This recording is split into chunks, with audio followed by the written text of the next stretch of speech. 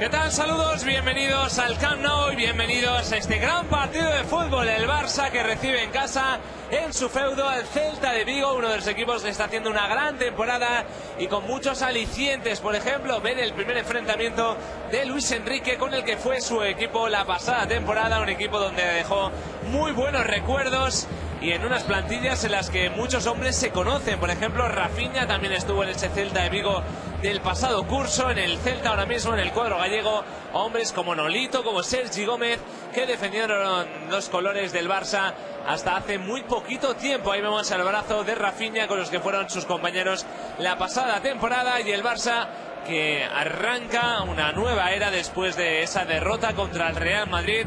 Duro tropiezo frente al cuadro de Carlo Ancelotti en el gran clásico de fútbol español.